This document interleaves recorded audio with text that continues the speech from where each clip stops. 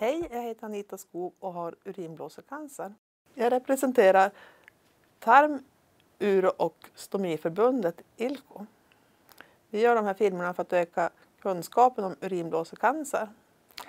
Med mig idag har jag Jenny. Hej Jenny, kan du berätta lite grann om dig själv?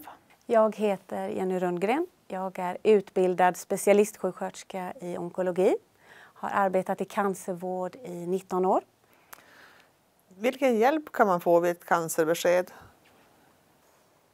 Ja, ehm, och då menar du eh, när man har fått, kommer till läkaren och får veta att man har fått blåscancer?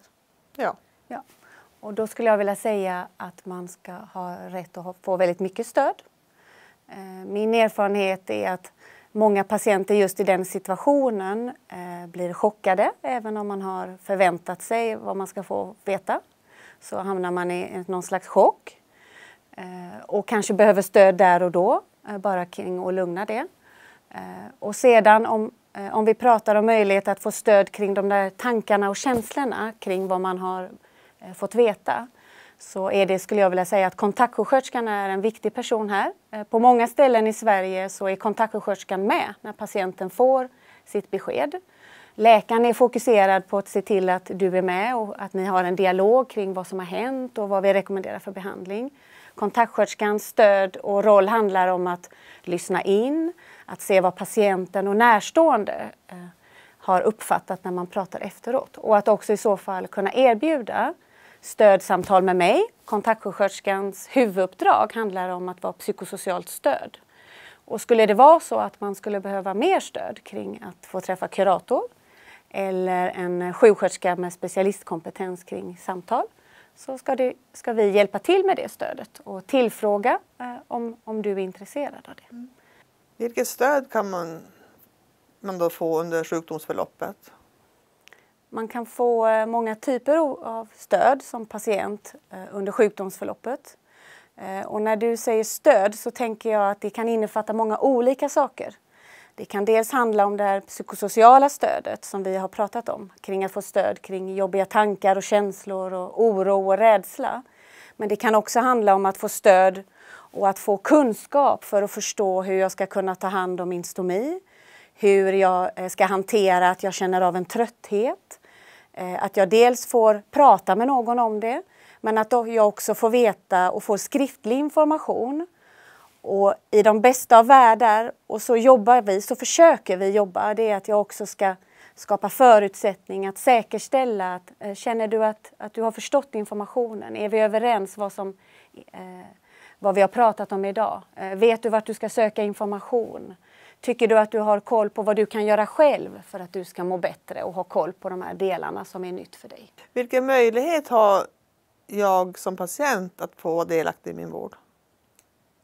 Det korta svaret på det är att du ska ha möjlighet att vara delaktig på alla de sätt eh, som du känner att du vill för att du ska känna dig trygg. Sedan eh, behöver man kanske prata lite om vad delaktighet är eh, för dig som patient. Jag tänker att om vi ska prata om delaktighet beslut kring val av behandling då är min erfarenhet att det kanske inte handlar framförallt om att du ska bestämma själv. Att läkaren säger men du får välja Anita, strål eller, eller operation.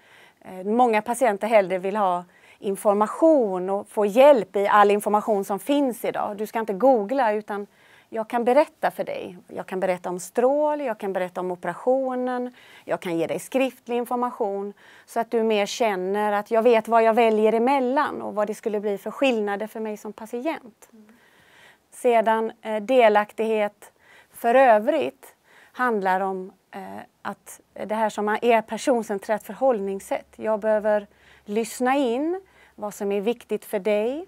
Jag behöver lyssna in och ta reda på vad du har för besvär, eventuellt har för besvär och symptom. Och utifrån det eh, ge dig rätt stöd och råd. Och att också visa, eh, som man tyvärr kan se i forskning ibland, att många patienter anger att generellt i sjukvård, att jag känner mig inte som en person som har drabbats av sjukdom, utan jag känner mig som Hej, jag heter Cancer och jag är 48 år. Och då tycker jag att vi har misslyckats. Mm. Så att om patienter, om man får personen att känna att jag lyssnar på dig, som person. Vad, hur lever du? Vad är viktigt för dig? Vad är din situation? Då svarar de patienterna ofta sen att ja, jag känner mig delaktig i min vård. När jag fick urinblåsecancer och fick veta det så får man ju, var man ju på lasarettet. När man kom hem så började man googla på det. Och det var ju inget bra kan jag säga. Man fick mycket konstiga tankar i huvudet.